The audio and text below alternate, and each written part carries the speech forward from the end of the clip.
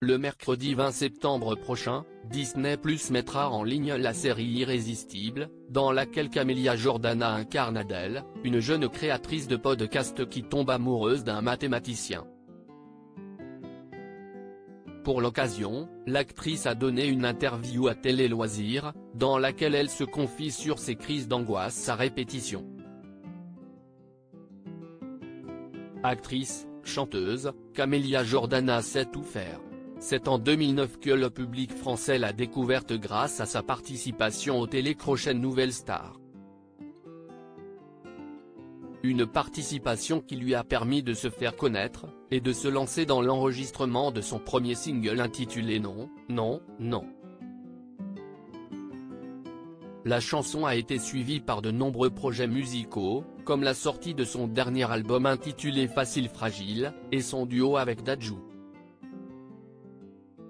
En plus de sa carrière dans la musique, Camélia Jordana s'est aussi fait une place dans le monde du cinéma français. C'est en 2013, que la chanteuse fait ses premiers pas sur le grand écran avec le film La stratégie de la poussette, avant d'obtenir un premier rôle dans le long métrage Nous trois ou rien réalisé par l'humoriste Kéron.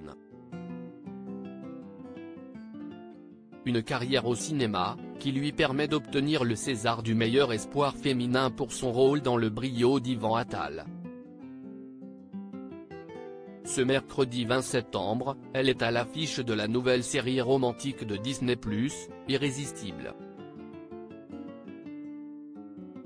En pleine promotion de la fiction, Camélia Jordana s'est confiée sur les nombreuses crises d'angoisse dont elle souffre. Ça demande beaucoup d'efforts dans Irrésistible, Camélia Jordana incarne Adèle, une créatrice de podcast, qui tombe sous le charme d'Arthur un mathématicien qui se sert de ses connaissances pour étudier les relations amoureuses. Cependant, cette relation a un effet secondaire, à chaque fois qu'Adèle voit Thomas, elle fait des crises de panique.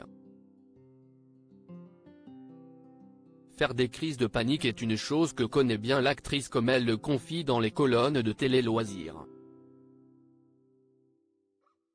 J'ai souvent eu des crises d'angoisse, explique Camélia Jordana, qui raconte comment elle a réussi à se débarrasser de cet état, ça demande beaucoup d'efforts parce que quand on est capable de repousser ses limites au point d'arriver à un burn-out, c'est qu'on est sur un fil.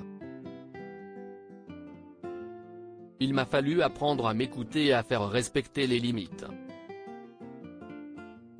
C'est vraiment un long chemin.